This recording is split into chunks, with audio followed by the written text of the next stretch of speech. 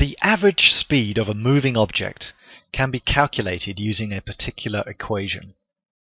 Note that we're talking about the average speed. So an object might be going fast at one moment and then slower at a next moment, but the average speed over the distance that it covers would be somewhere in the middle. So how do we remember the equation? Well, before we do the equation, let's look at the second part of this flashcard. Speed is usually measured in metric units of. What are the two here that we usually use for metric uh, units of speed? Well, the metric units of speed would be, for example, meters per second, or we could use kilometers per hour. Now, I've written them as fractions like this. Sometimes you'll see them just written like this, most of the time, meters per second. It means the same thing. But if I write them like this, it actually helps us to work out the equation. Because speed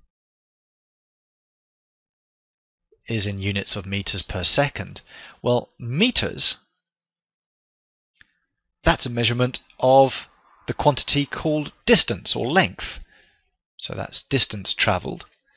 And seconds, well, that's a quantity called time, time taken.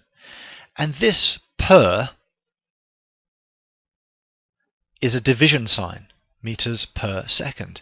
So immediately we can actually write our equation as average speed equals distance traveled per or divided by time taken.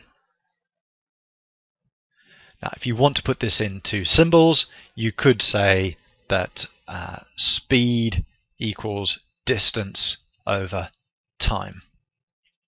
But looking at the units just gives us the answer straight away. So don't need to remember some funny triangle, which a lot of people get wrong. Just look at the units. Ask yourself, what units is speed measured in? Ah, meters per second, distance per time. That's your equation.